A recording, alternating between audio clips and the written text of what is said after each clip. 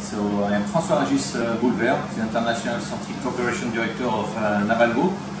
Uh, I work in the um, Innovation and Expertise Directorate uh, in Naval Group, doing all the research, the forward-looking of, uh, of Naval Group uh, work.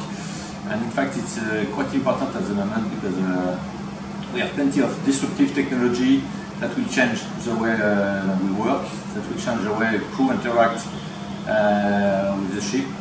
So apart, I do not remind that the naval group is uh, European leaders for naval defense. Uh, we are doing warship, frigates, submarine, uh, aircraft carrier, uh, all that kind of things.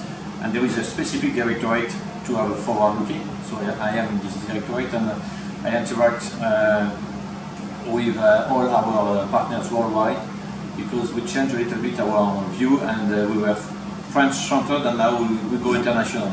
That's why I'm here in India uh, for this uh, FICCI conference. Um, India is a reliable, uh, important partners.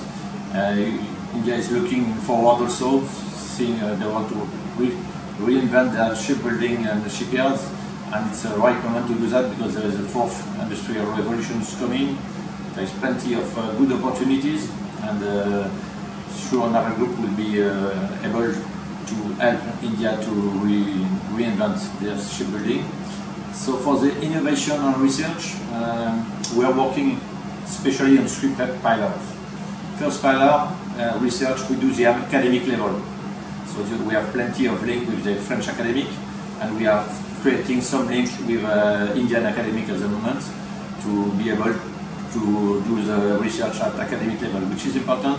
Uh, it's research, it's forward-looking. The second one is uh, to answer the, you know, uh, frigate is a long-term innovation cycles, and we saw that there is threats coming which are very short-term. Uh, so we need to we need to invent the short-term innovation cycle also for the shipbuilding, and to do that, we rely on uh, what we call the startup ecosystem. They are able to give you good idea, and we are able to push this idea into the naval domains. And we are doing that also uh, in our, directorate, and we will, we surely do that also in, in try to do that in India uh, to interact with the startup ecosystems. And then when we have a good idea and we have proof that this idea uh, is feasible, it's good to have right partners. So we are also here in India to find the right partner to develop this good idea and uh, offer it to the Indian So that's really that uh, uh, the, the, the domain that we are working on.